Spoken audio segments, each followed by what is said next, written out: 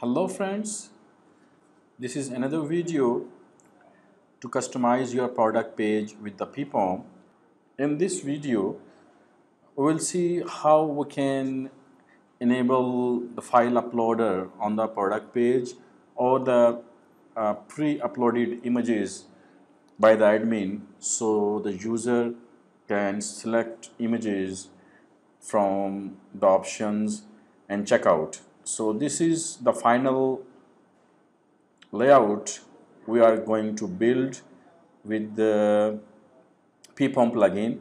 Here you can see the user can select the images and here is the option to upload or select file from his computer. So the admin can get those files and process with the order. So let's see how to create these fields. So if you don't know how to create the fields I recommend you to go over getting started video. The link already given uh, below in the description. So you can create the new meta group and here I have already created a file upload demo this one and uh, here you can see I can create the fields from this pop-up. And uh, here you can use the image input like uh, this and then the file input this one. So I have already added these inputs. So let's see their settings. Here you can see the label and the different options we have already seen in the getting started videos. So let's uh, make it multiple selections enable.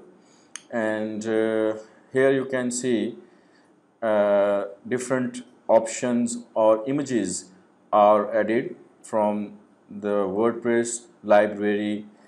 So you can select more images from the from this window.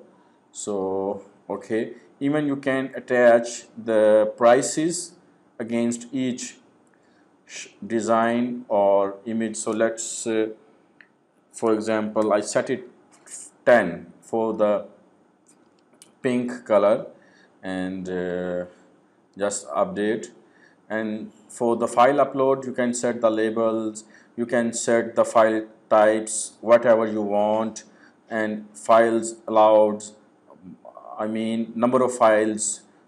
Let's say I just set one and the file size and uh, you can also attach the the price the cost against per file. So okay. I just save and uh, refresh this.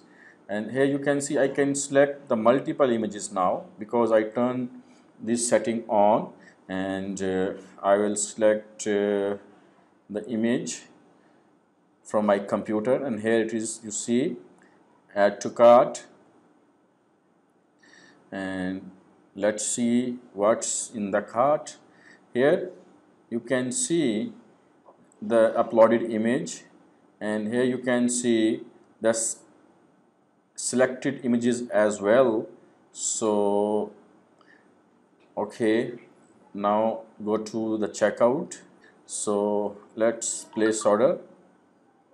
And here you see the meta is attached with the checkout and the cart. Here you can see in order detail we can see the uploaded file and we can download the file uploaded by the customer from the backend and here is the selections of the images made by the customer.